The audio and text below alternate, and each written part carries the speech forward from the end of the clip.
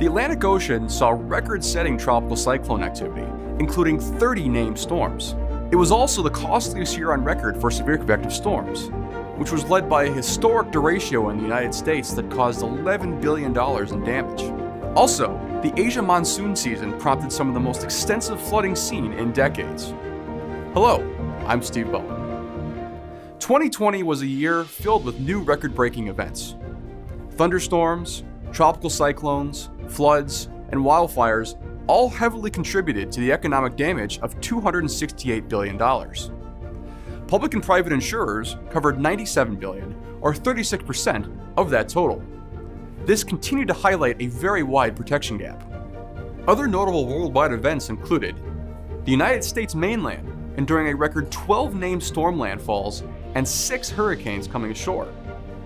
In the Philippines, Super Typhoon Goni became the strongest landfalling tropical cyclone ever recorded globally, with estimated 1 minute sustained winds of 195 miles per hour. In Europe, Windstorm Ciara became the costliest storm since Xynthia in 2010. In South America, drought conditions reduced agricultural crop yields in Brazil and Argentina. In addition, we saw the impact of a changing climate, with record heat aiding in the spread of major wildfires across the United States, Brazil, Bolivia, and Paraguay. We continue to see rising sea levels that enhance coastal storm surge and what we call sunny day or nuisance flooding. We also saw the hottest temperature ever recorded in the Arctic Circle, including the first time on record with temperatures topping 100 degrees Fahrenheit. So, what does this mean for 2021? As climate change continues to affect the behavior of weather events, and humans continue to move into vulnerable locations, the impact and financial costs of natural disasters will only increase. Business and governments alike need to navigate this volatility and rethink access to capital to protect people and their assets.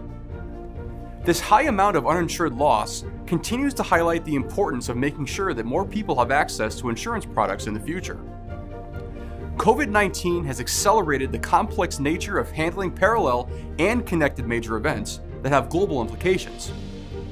It is proven that preparation for long term risks, such as climate change and other types of societal disruption, will require bigger and more strategic decisions around risk management and business continuity. The goals are clear to provide cover in the times of need, to help better manage physical risks, and to address the underserved with more affordable and scalable products. It can and will be done. To find out more, please visit our website at catastropheinsight.aon.com.